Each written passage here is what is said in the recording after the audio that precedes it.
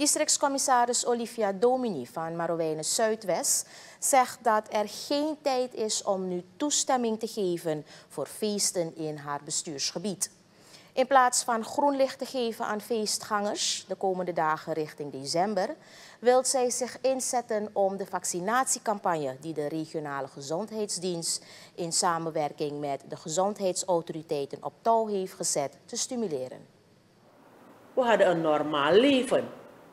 Iedereen mocht maar feesten wanneer die maar zin daarin had. Maar nu uh, wordt dit op ons uh, uh, afgekregen hebben. het is een ziekte die de wereld in zijn greep heeft. Dienen we rekening te houden daarmee dat het teruggewerkt kan worden. Dat het de kop kan worden ingedrukt dan moeten we ons allemaal aan de COVID-maatregelen houden. En als we dat doen, dan denk ik wel dat we terug kunnen gaan naar het normaal leven. Dus die mensen die uh, verspreiden, die uh, flyers verspreiden, uh, die voorbereidingen treffen om feestjes te organiseren, ze moeten stoppen.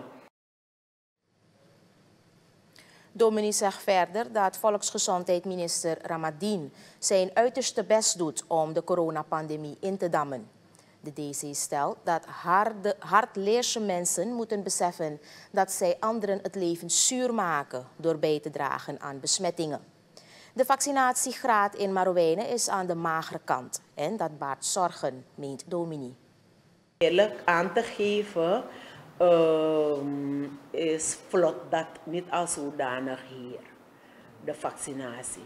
Maar oké, je hebt groepen. Ik heb gesproken met een zekere uh, arts, uh, dokter Emmanuel. Uh, vandaag nog ze, gaan ze bezig zijn met een campagne. Dan gaan ze huis aan huis, straat voor straat, op om die mensen um, te mobiliseren om zich te laten vaccineren. Wat ik persoonlijk daarvan kan zeggen, ik wil hierbij iedereen oproepen om zich te laten vaccineren.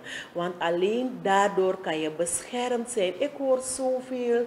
Je hebt mensen die um, een verwarring uh, brengen in de samenleving door op, uh, uh, via het net voorbereidingen treffen om feestjes te organiseren. Ze moeten stoppen.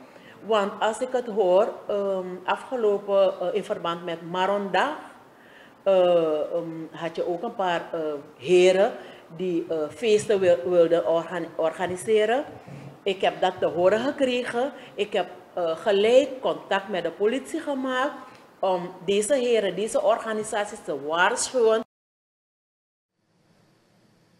Domini stelt dat showorganisatoren die investeringen doen en mensen oproepen om activiteiten te organiseren, daar liever mee ophouden, aangezien zij daar geen toestemming voor zullen krijgen.